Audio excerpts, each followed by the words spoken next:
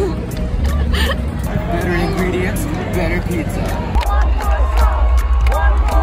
Tell the workers that you are on the For King and Country guest list. I feel famous right now. Hey guys, it's Grace. Welcome back to my channel. So today we are going to Lifest and we are going to see For King and Country and a lot of other amazing artists. But For King and Country I feel like is one we're all most excited for because it's like our favorite artist. Um, so I'm here in the back with Tyler and Jacob and we're going with my dad and my grandma and yeah, so we are driving there right now and I don't know exactly when we're gonna get there, probably like mid-afternoon, but we are on our way right now.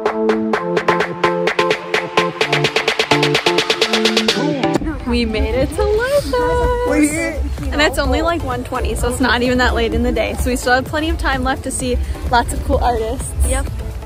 And yeah, we'll give you a more full lineup of who we're gonna see in just a little bit, but yeah, we made it. We're gonna go meet up with one of my friends at the Edge. Good place. Yeah, there's not very good like reception here, so I've been trying to text her for like literally 20 minutes and haven't gotten anything through. So we're gonna go meet up with her and see what happens from there. So we just met up with my friend Emma. You met her in my Aladdin vlog and she's actually camping here, so that's kind of fun. More to see for the day. But now we're heading back to meet up with our dad and our brother and our grandma um, at a concert. The main people we're here to see today are Rebecca St. James, Spencer Kane for King Country. Those are like three that we're going for. And any others are just bonus. Better ingredients, better pizza. Papa John's. Tyler can be the new guy in the commercials. Who needs Peyton Manning? he does those, right? Yeah. We're heading back to the grandstand because I believe we are going to see Ryan Stevenson for a little bit. awesome. This So- is a cool place. Yeah, so we're gonna head over there, see the rest of his concert, and then I think Rebecca St. James isn't too long after that, so then we'll see her. No, maybe.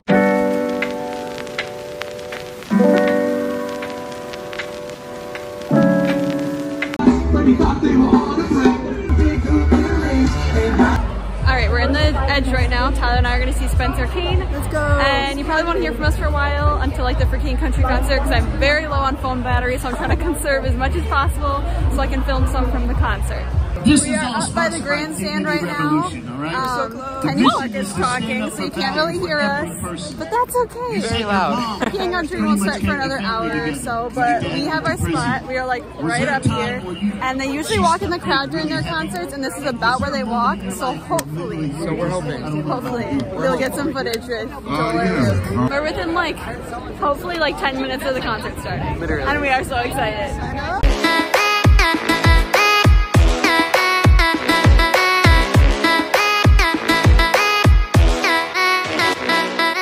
Oshkosh, Wisconsin. I don't know what it's like to be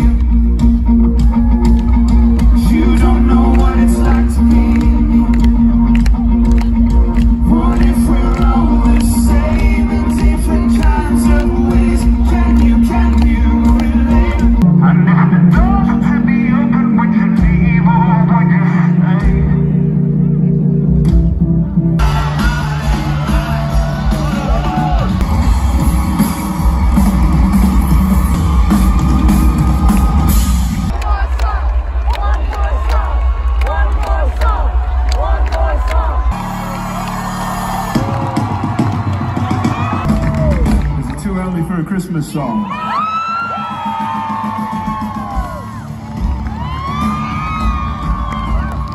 Alright, so it is now actually over a week after I filmed that Lifest vlog. I just wanted to check back in and kind of film a little outro and tell you guys a fun little story about one of our Lifest experiences. So I actually referenced this story in the title of my video. So if you're wondering what that title is about and you see anything about it in the vlog portion of the video, this is where that is going to tie into everything. So this story actually happened four years ago now in 2018 my family had just started really getting into for king and country and my brothers and i made a lego stop motion to for king and country song joy. We made little minifigures of joel and luke. We put over probably like at least six hours into making the stop motion, making everything line up with the music, and we basically made it like a concert of theirs that we had seen online. And we actually ended up sending it to For King and Country on their Facebook page. He said something about how we had been hoping to see them at Lifest, but it didn't look like we were going to be going because we hadn't like gotten tickets at this point and a lot of them were sold out by now because it was only like a month before at the most. So we sent this off to them and just were like, I mean, the worst that can happen is that they're never going to see it, like mm-hmm. whatever. But then a couple days later, we get a message back from and Country. And it says that they shared the video with the guys and that Joel and Luke loved it. And they wanted to offer us free Lifest tickets to go see them at Lifest. And we were like oh my gosh as if that wasn't enough they were like yeah just send us the name to put them under and when you get there tell the workers that you were on the for king and country guest list and were just like